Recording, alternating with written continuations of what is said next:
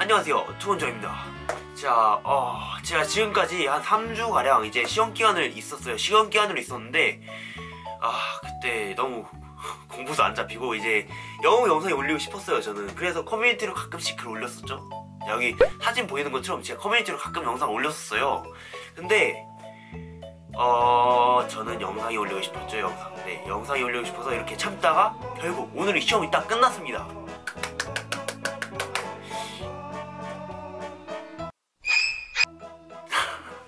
자 어쨌든 이렇게 영상을 이렇게 올리게 됐는데요. 와 너무 좋아요. 아 시험이 끝나니까 되게 홀가분하고 이제 1학년 고등학교 1학년 이제 시험 끝났죠.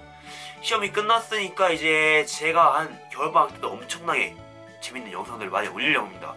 지금 많이 올리려고 미리 컨텐츠를 많이 짜놨어요 제가. 미리 뭐 재밌는 컨텐츠 뭐 신기한 컨텐츠 뭐또 여러 가지 컨텐츠 이렇게 다 짜놨는데 아, 내일도 하나 찍으려고 하거든요. 제가 하나를 내일 딱 찍으려고 합니다.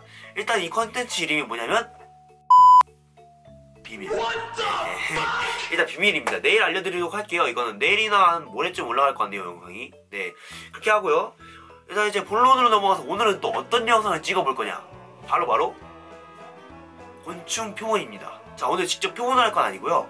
어, 제가 필리핀에 최근에 다녀왔지 않습니까? 최근인가?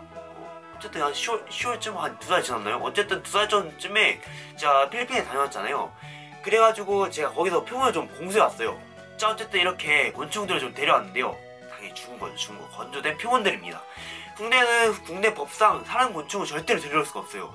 조심하세요. 여러분들 막 해외 놀러 가서 어 곤충이네 하고 딱 들고 오시면 철컹철컹입니다 이제. 자 그러니까 오늘은 이제 건조 표본들을 좀 살펴볼 건데요. 직접 표본을 하지 않고 제가 그냥 설명만 좀 드리도록 하겠습니다. 자 그럼 한번 보러 가시죠. 일단 여기부터 이름을 좀 말씀드리도록 하겠습니다. 자 여기는 자 imperialis는 이게 오돈 사슴벌레 종류인데요. 다리 부분에 이렇게 주황색 이렇게 줄무늬가 있습니다. 어 국내에서는 참사슴벌레 같은 종류에서 좀 찾아볼 수가 있죠 이런 건. 다음은 이게 아마 ritsemae? ritsemae인가? schenklingi인가? 그럴 거예요. 저도 정확한 명칭을 잘 모르겠는데 어쨌든 Dorcus Dorcus 속인 걸로 알고 있습니다. 이거는 좀 부셔져가지고 제가 좀 어, 만지기가 좀 그런데 자 어, 이렇게 돼서. 자 일단 이렇게 생겨온 거예요. 이건 좀 아시는 분이 많을 거예요. 기라파 톱사슴벌레라고 턱이 이게 그 기린처럼 기린처럼 쭉 길다 해가지고 어 기라파. 기라파가 뭐죠? 쥐라파? 기라파? 아마 그런 거에서 유래됐을 거예요. 저도 자세히 모르지만 어, 그렇게 들었어요 저는. 이렇게 들었고 어쨌든 그런 걸로 알고 있습니다. 자 다음은 이제 와 팔라완 섬에 서식하는 팔라완 넓적사슴벌레인데요. 어, 이것도 좀 부러졌네요. 와 이거 그냥 제 손에 손, 손만이에요 진짜 손바닥. 와 이렇게 하면 손바닥만 합니다. 이게 한 10cm 정도 될 거예요. 음, 이게 진짜 막 국내에 비슷한 종이면 넓적사슴벌레 진짜 업그레이드 버전이라고 볼 수가 있는데 클래스가 좀 달라요 진짜. 국내 거하고는. 국내 거하고는 진짜 클래스가 달라서 엄청 멋집니다 실제로 보면.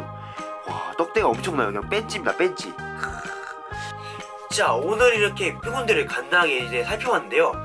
아 오늘은 이제 영상의 의미가 표본 영상이기도 한데 제가 이렇게 살아있다는 걸 좀 알리는 그런 영상이었습니다 어, 앞으로는 이제 꾸준하게 계속 일주일에 한 4회 정도, 4회에서 5회 정도? 그렇게 업로드를 할 듯 하네요. 이제 앞으로는 더욱 재밌는 컨텐츠 엄청 많이 준비할 겁니다. 진짜 그냥 뭐 채집도 엄청 많이 다니고, 이제 뭐, 어쨌든 제가 엄청나게 재밌게 할 겁니다. 어, 지금보다는 확실히 이제 재밌을 컨텐츠가 많이 있고요. 여러분들이 기대하셔서 좋습니다. 자, 그럼 오늘 영상은 여기서 마치고요. 다음 영상, 더 재밌는 영상 다시 돌아오겠습니다. 안녕!